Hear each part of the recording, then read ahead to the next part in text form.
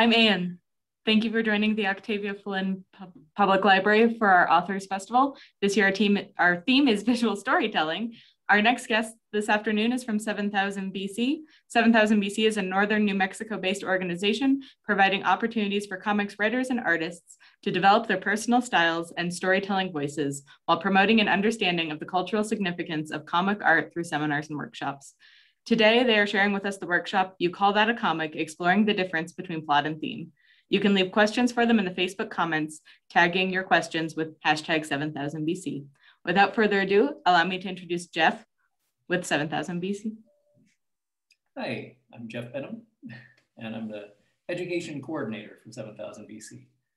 Um, and the workshop we'll be doing, uh, will will um, we'll just jump right in. so I'm gonna begin by sharing a screen here. Um, there are books and and comics and other types of, of media that uh, use non-traditional formats. So one of the well-known versions of this is the Griffin and Sabine uh, series from Nick Bantock, in which the story is told through um, uh, uh, letters and postcards. And um, so when you read the book, you're actually opening up the letters and pulling them out and unfolding them. And, and so you're getting the experience that the characters had. Um, and this is the sort of thing that we're going to be dealing with today is things that book that are book objects. And we're even going to take them a little bit further than, than what this does. Um, I also wanted to show real quickly, uh, this is called Building Stories. It's a comic by Chris Ware. And it comes in a box and it has all of these comics of different shapes and sizes that are all, that all look like different buildings in a neighborhood and and they uh,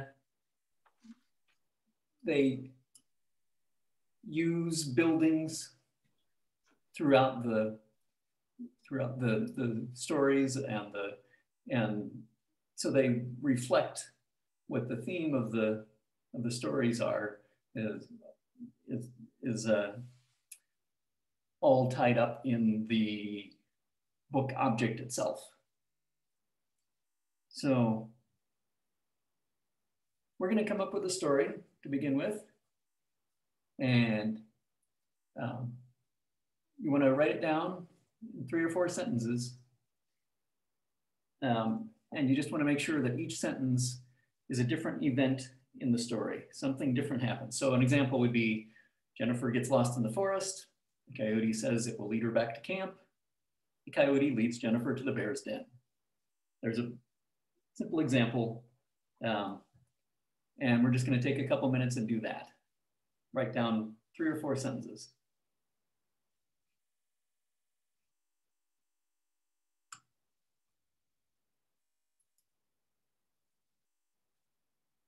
Everybody's got a three or four sentence story going.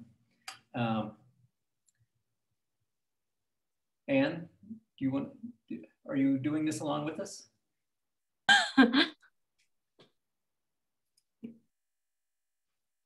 Yes, I'm I'm yeah. I'm participating. Would you would you like to read yours? Sure. So I have Sarah goes on a trip. She arrives at the airport late and misses her airplane, so decides to take the train instead. Okay. Nice dramatic story there. no, that's that's good. That's a good story. Um, so what we're going to look at with, with this is, uh,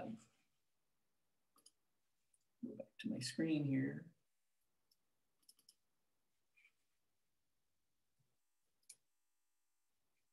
Is the theme of your story. And we're gonna explore what the difference is here. Um, so with great power comes great responsibility. That's, that's a theme that that we've heard before. Um, and it's, it's used in a lot of different comics, but it's probably best known uh, in Spider-Man. And it's used as the big tagline at the end of one of the Spider-Man films. Um, and it's basically the, the concept behind the story of Spider-Man. Um, so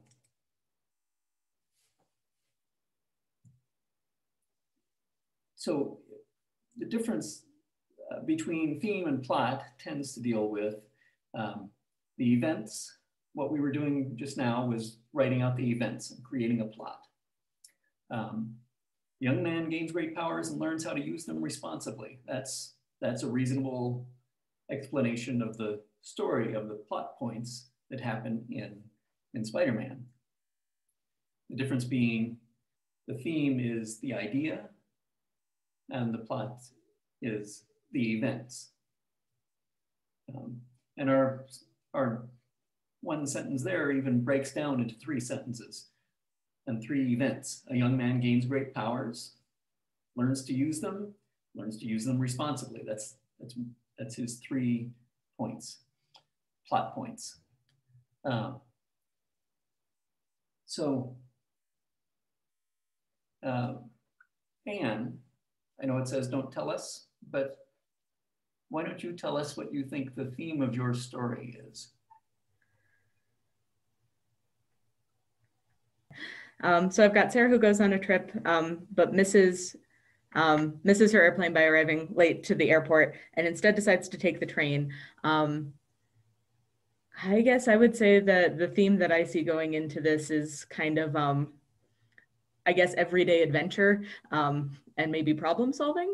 Um, okay, yeah. Yeah, good. That's a that's a viable theme for your story you came up with.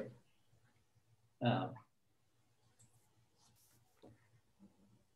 so we're going to look at this again a little bit more in detail. Um, so plot, your plot is about uh, missing the plane, taking the train. Right? Um, but but your theme has to do with with the idea with the ideas that you mentioned.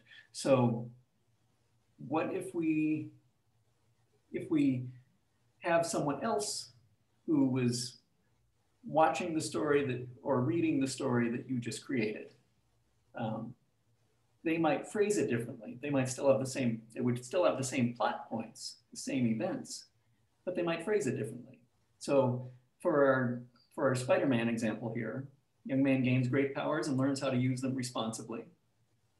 Someone else might see spider-man and say well an average young guy, you know, somebody you, you're just asking them when they when they put down the book, what, what was what did you just read?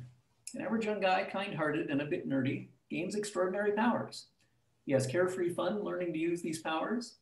After an, impul- an impulsive choice causes his uncle's death, he realizes how tiny decisions can carry the greatest potential. So you've still got basically the same story. Um, gains powers, number one. Number two, um, learns to use the powers. Number three, learns to use them responsibly. So you still get the same plot points, but there's a different shift here now because it's a different person telling you what, what it was that they saw. And we all bring our own personal connections or, to the stories that we read or the films that we watch. Um, so the to me, the, the central point in this version of it is how is about tiny decisions, about how tiny the tiny decisions can carry the greatest potential. Um, and so that to me sounds not like with great great power comes great responsibility. That sounds to me like it's actually the reverse. With great responsibility comes great power because you've got the uh, the tiny decision being the thing that that is most important. And that's what the responsibility is about, is that you're paying attention to all the details, all the, all the things that you don't normally notice. Um, it's not that you, it's not that Spider-Man has this great power that is thrust upon him and he becomes the great savior of the, of the entire nation. it's that he learns that something tiny and simple, a little everyday thing, has to be paid attention to. And that's where the greatest power comes from. So it's, there's a, so it's back down to what's, what are the events that happen and what's the big idea that comes from them. Um, and you as the reader or the viewer are looking at the events and understanding them based on your own life experience. So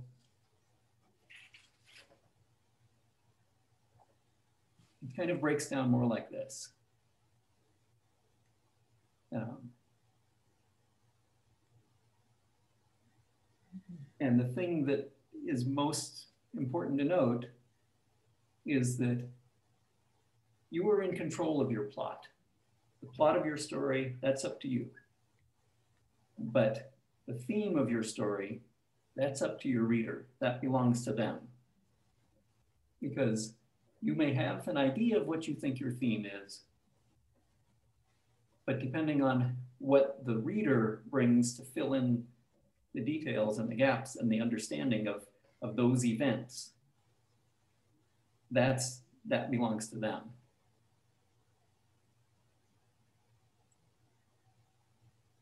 So uh, we're going to have your reader um, define your theme for themselves. So the way we're going to do that is um, you're going to you're going to have a partner and you're going to work with them and they will tell you what they think your theme is and you get to write that down okay? Does that make does that make sense? Yes yes. Okay and we've got four people here right? So yes we, we do. so actually we'll put two of you in a room and then one i'll stay on here with. Okay. So i think i think it's you and me jeff. Oh okay okay all right. Um, so as I'd mentioned, um, the the plot of my the the plot I have going is that Sarah goes on a trip, arrives late at the airport, misses her airplane, and decides to take the train instead. Right. Okay. Um, that to me sounds like it's about um, the ability to shift at a moment's notice the uh, it's about uh, learning to be flexible and swaying with the trees as they move, you know, that kind of thing. Okay. Um, see if I can put that more succinctly, because it's good if we can if we can get it down to just a couple of words. Okay. Um, um, but does that make sense to you, what I, what I was saying? It does. Um, yeah, I think a lot of it is is about flexibility and kind of, I guess, rolling rolling with life as it comes at you. okay. I could see. Yeah. As a possible theme. Yeah. Yeah. Yeah, I think flexibility is really uh, flexible mind. Okay. Or, um,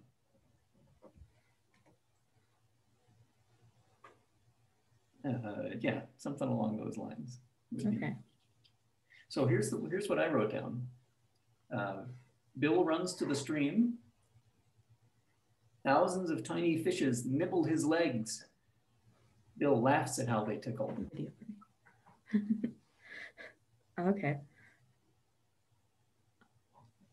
So what would be my theme for that? Could I hear it one more time? Just just yeah. to think about it a little bit harder. Yeah. Uh, Bill runs to the stream. Okay, Thousands of tiny baby baby fishes nibble his legs. thanks. Bill Okay. laughs at how they tickle. I, the first thing that comes to mind is joy, um, is kind of the theme I feel there, uh, Okay. everyday joy. Um, Everyday joy. I like that. yeah, Yeah. Yeah. At, at first, I wasn't sure if he was running because, you know, he was on fire or something like that. I guess I also don't know how old he is. So like, I, oh, Right. I think of him as a child. So Okay. that maybe makes a difference. yeah. Yeah. Yeah, my in, in my brain he's a child. So Okay. In my brain, he was, you know, 60s. interesting. Okay. Huh. Um, but maybe returning to his childhood home. I like that. I like that a lot. Um, yeah. So, okay. Well, we've got our themes and Hmm. presumably everybody else does as well.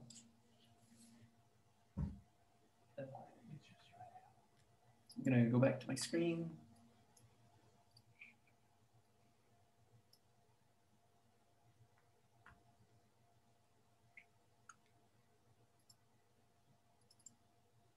And we're gonna just sort of review quickly the differences here. Um, themes are abstract and, and subjective. Um, they're, they're an overall concept and, and it's up to the individual um, who's, who's observing the work, whatever type of work it is, um, to make their own decision about what that theme is. Um, and sometimes it can be radically different. Uh, maybe you have a, maybe you have a story about a, a hunter tracking and shooting a moose. Um, and to someone who's a hunter living way out where there is no other way to get food, you know, this would be a big sort of triumphant thing. A lot of work to a triumphant end. But to vegetarian, you've got a whole other story. uh,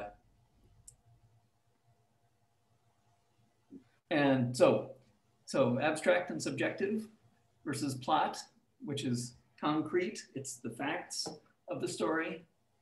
It's it's the the things that cannot be argued against. Um, so it's yes, the person fell off of the cliff. Maybe they maybe you might argue back and forth a little about how they fell, or you know, did they slip? Um, were they pushed? But they definitely went off the cliff. They went down. um, so uh, also, theme is a description. It describes what the story is, as opposed to creates the story. It tells you, it tells you the concept that the story is about. The plot tells you the story itself, the actual actions and events that happen. Um, and and it and plot becomes the structure upon which the story exists. And then theme comes after and says, "Oh, I see what your structure is. This is what it means." So, so that's our big overall difference between theme and plot. Um, so write down two numbers between one and 20.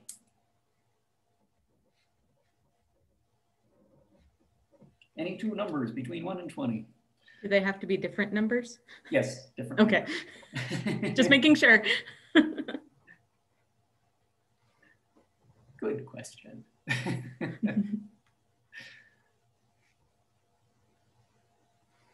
okay.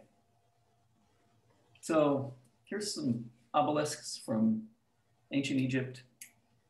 Um, and these are essentially book objects. These are giant books.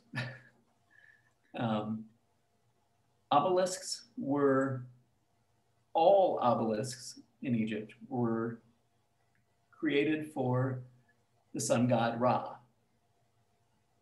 And running down the length of them is the story of the sun god. And these weren't just recording his story, they were there as a way of reaching out, trying to touch touch the sun god and and find a way to connect with him to bring bring Ra back down to earth to connect with us. Um, and so that's why they used obelisks to tell their stories, was that their stories about Ra were about us humans connecting with the sun. Now, so they came up with something that was based on the theme of their story and created that. Um, so I'm going to show you a few other examples of that sort of thing. Uh, here's a cathedral windows, uh, stained glass windows, telling a story, and the story that they're trying to tell is is something they're trying to tell to bring the light to you in, in a metaphorical sense. So they did it literally as well. And so stained glass windows are bathing you in that story. And um, here's another. This is Jean Tinguely, who was a uh, surrealist artist. He created this machine out of scrap bits from, from uh, different technologies at the time. And the story that he was telling is how it destroys itself. It's a terrible, it's a terrible uh, type of thing that that exists that it, that it exists in. And so the object that contained that story destroyed itself as part of as part of its existence. Um, here's a book by Art Spiegelman. This is one of my one of my favorite examples of this sort of thing. It's a children's book called Open Me, I'm a Dog, and the story is that there is a dog, and this is the dog. He's still got his leash, and if you open up the book, he's saying, Open me, I'm a dog, because he needs help. And uh, the dog has been turned into a book by a witch. This witch has come and turned this poor dog into a, into a book and it's only and he's and he's there to tell you his story as a book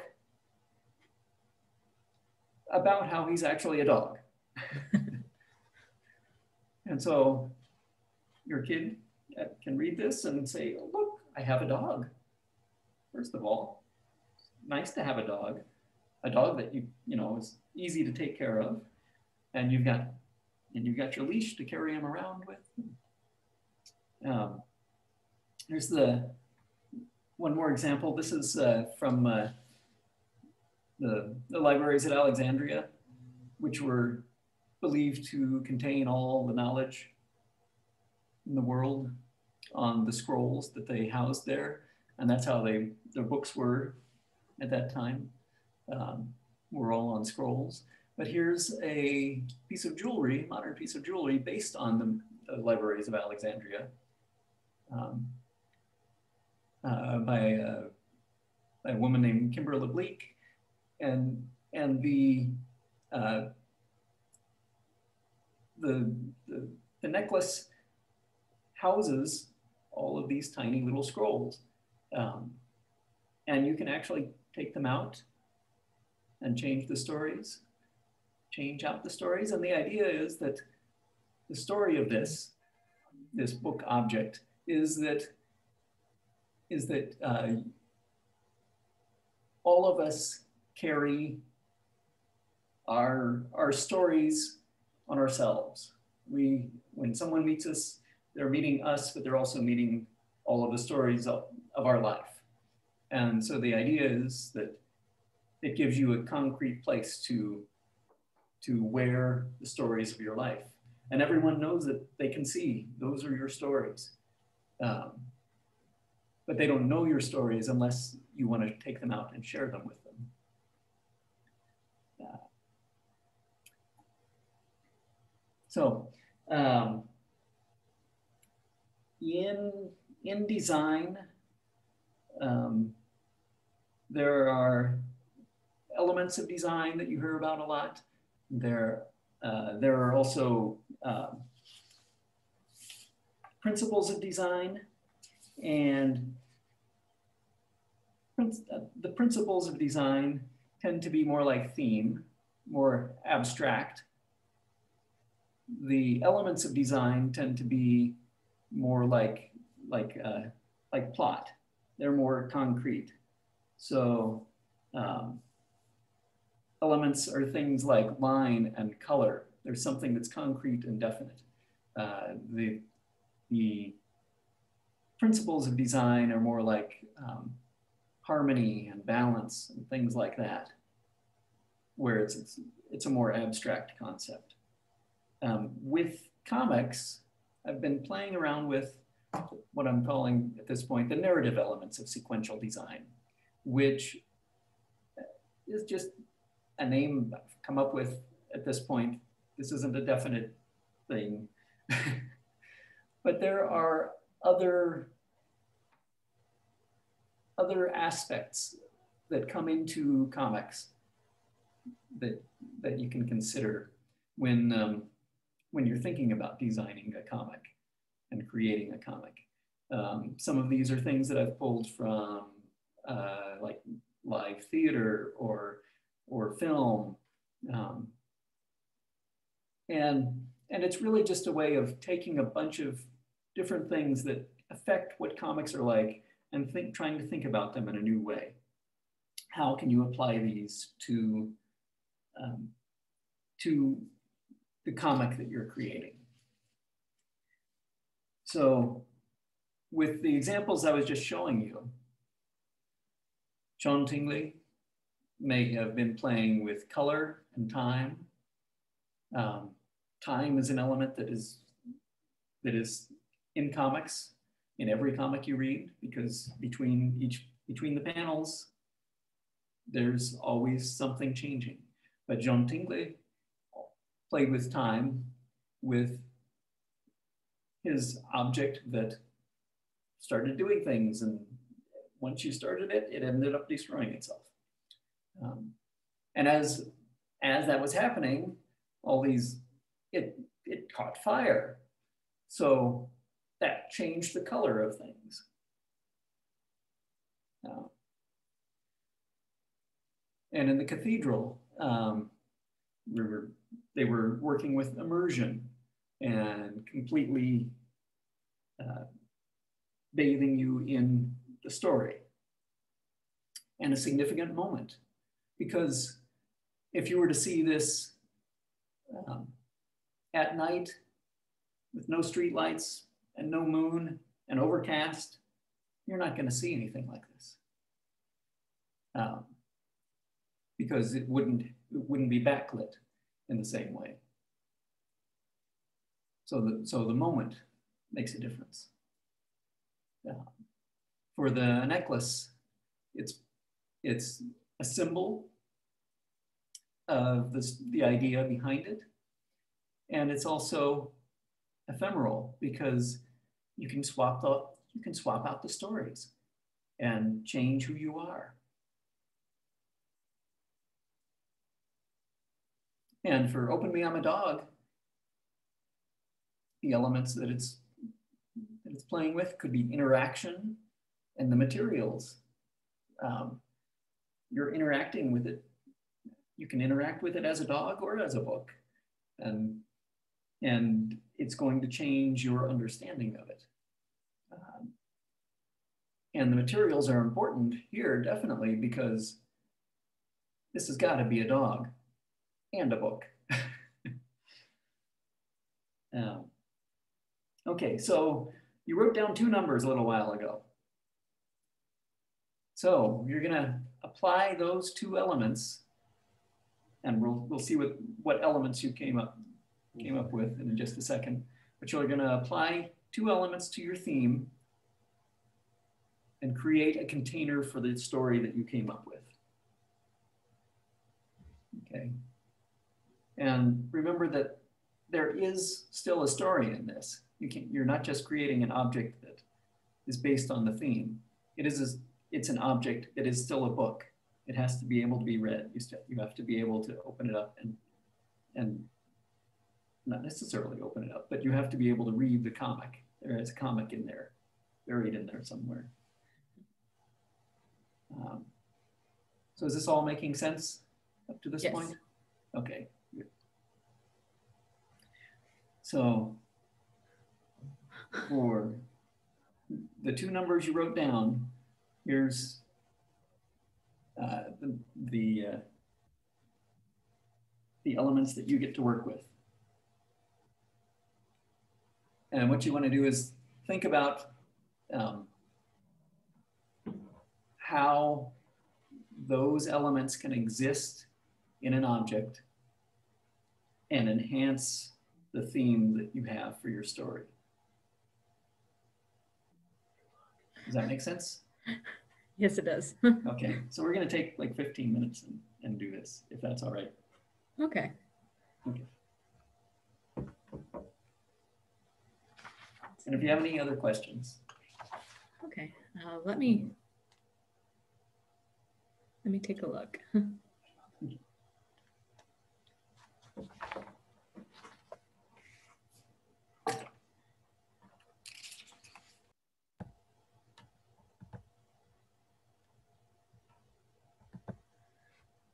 And just a reminder for any of our participants in the Zoom um, that you're more than welcome to place questions and such in the chat um, as they come up.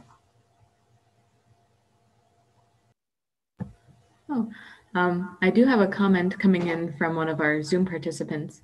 Um, she says she didn't want to interrupt, but she's not sure as to her theme. Her sentences are Izzy climbs the tree to read, Izzy slowly starts to drift off, and Izzy falls and is swallowed by the earth. wow. Um, Interesting. I do like that. Um, yeah, there's like kind of an element of like almost magic or supernatural there um, with her being swallowed by the earth. Um, and, and I think there's also uh, something about dream versus reality. Ooh. And where where is this character in that realm? Yeah. Um, you know, is she already in a dream, nodding off in the dream, falling and swallowed by the earth?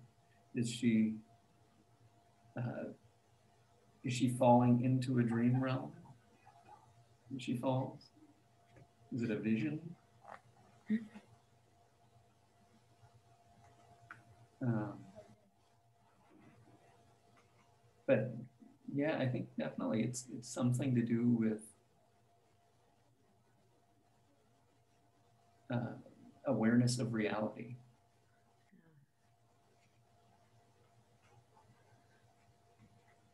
Because, yeah, I mean, it, it reminds me- as, uh, oh, go ahead. Oh no, um, it just makes me think of like the concept of liminal spaces, kind of like the crossing over between reality and the dream world, so to speak. Um, Right. so, And life and death, and even. life and death. I mean, this could be falling into the earth to be buried. Mhm.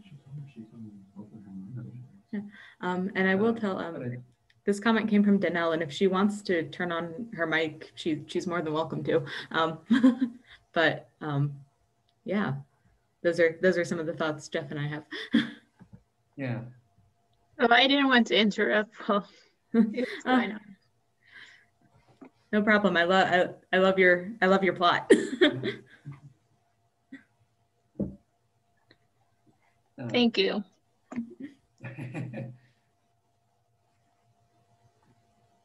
I'd say uh, I would go with something about um, yeah, uh, reality awareness.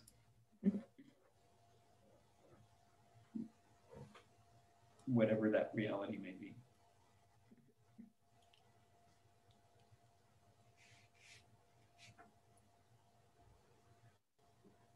I do have another question that comes from one of our staff members about uh, planning, um, planning comic book and graphic novel spreads, um, and how those things come together um, in terms of prepped and random designs and kind of how you you make space of like make use of panels versus like full page spreads and things like that.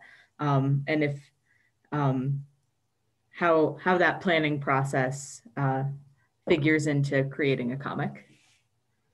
Um, so how how you kind of go about choosing between you know what becomes a full page spread, what has um, varying how panels in it, and things like that. Yeah, How do you decide which which things you I guess how you decide which things you highlight. something- Yeah. Yeah.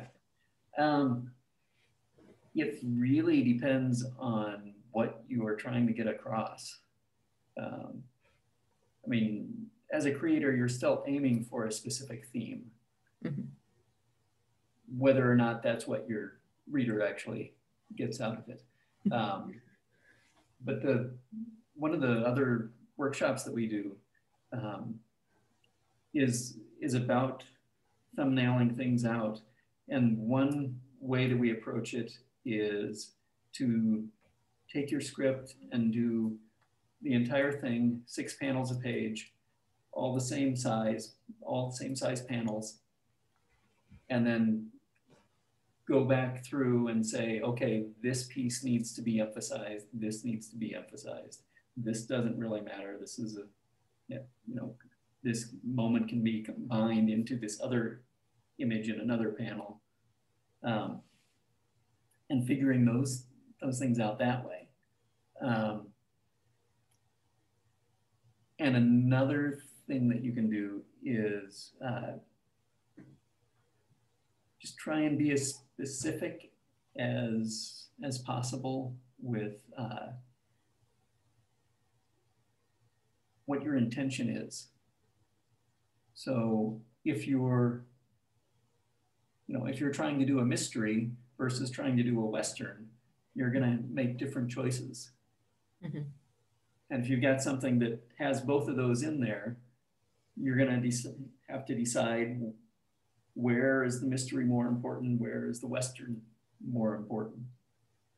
Mhm. Um, and looking at those kinds of choices will inform what you do with your panels. Okay. Does that, does that help? That that that does answer the question. Yes. Okay. Well, where are we, where are you guys at with creating your book objects? Um, I've got some rough uh, sketches and outlines. Um, Okay. For um, just to let you know, the the two numbers that I chose were scale and interaction, so 12 and 17. Um, Okay.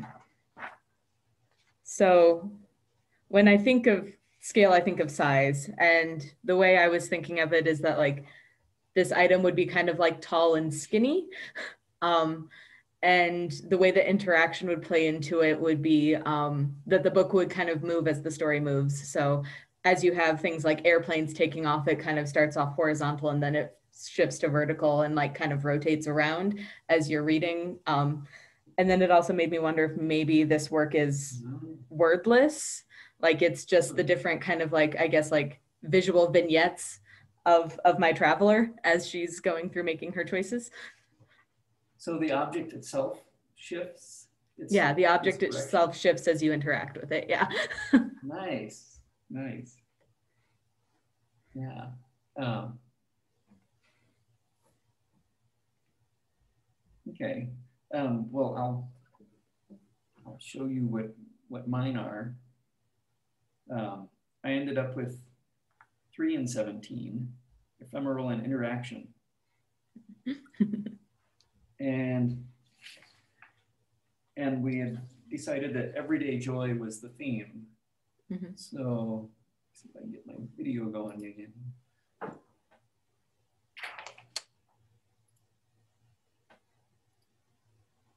So my, we have the story of the nibbling, the nibbling uh, fish, baby fishes. Nope, there, there goes my picture again. Okay, so I, I decided to start with something wrapped up in fish paper. So it didn't look like it was much of anything particular, and maybe it smelled bad. but you open it up and it's full of feathers and, and frogs, which would be something unexpected and kind of enjoyable in a way. And I didn't quite get to the point yet of, uh, of drawing out what happens with the frogs, but if you turn them over, on their bellies is drawn the story.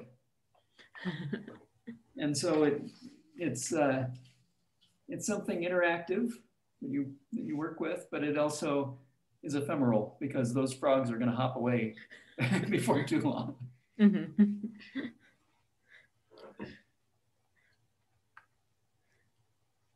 And, uh, and I suspect the feathers will blow away too. I really like your idea of, the, of having something that, Yeah. that moves on. So I kind of- I've got, I've got sketches too. So I've kind of got Oh, a, good. I don't know if you can see, I've got like the plane taking off without her on it, and then we've got our train going out of the station. Nice. And then I've also got some sketches of like her suitcase rolling in different directions as it kind of moves along as she's moving um, Nice.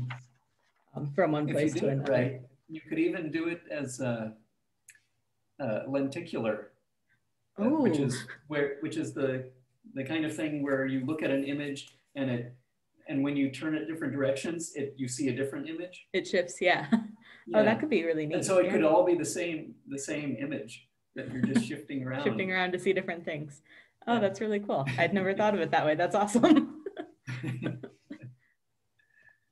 Um, Yeah, anybody else? Have one they want to share? Let's see if we have anyone. Anyone with video who wants to share? If not, that's okay. I won't force you.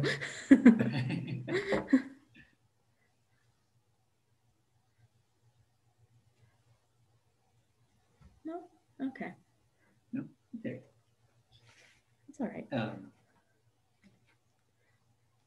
Here, this is, this one is falling apart. Here's one I did recently, but it was uh, a story about the formation of the earth.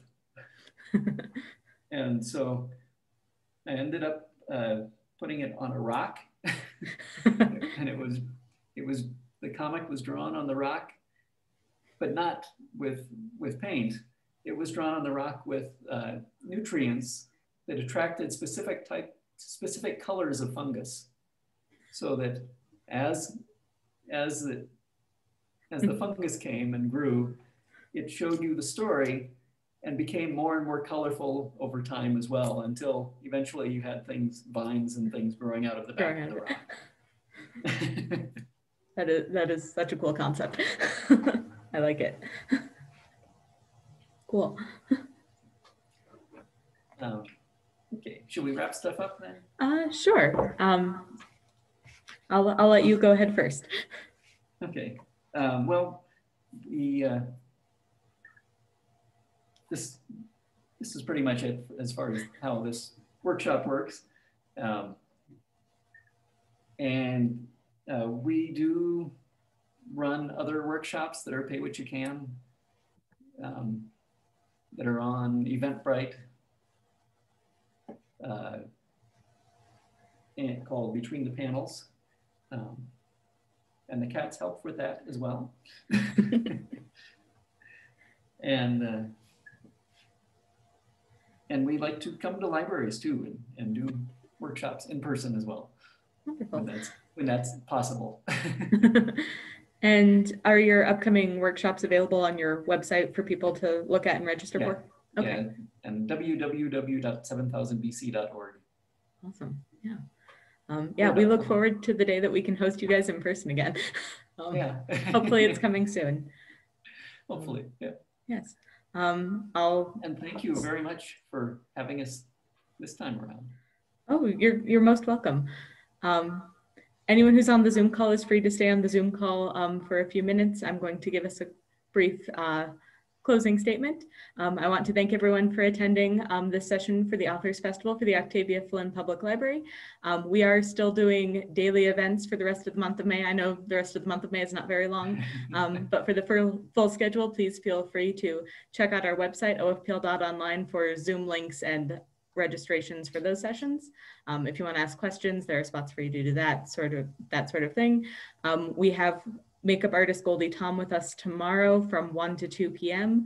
Um, so if you have any hair and makeup questions, please feel free to drop her a line. We also have another panel coming up on Saturday with the American Institute of Graphic Artists, the New Mexico chapter, um, and they will be talking about translating story to image. We would love to see you guys there as well. And we will see you guys next time. Goodbye. See ya.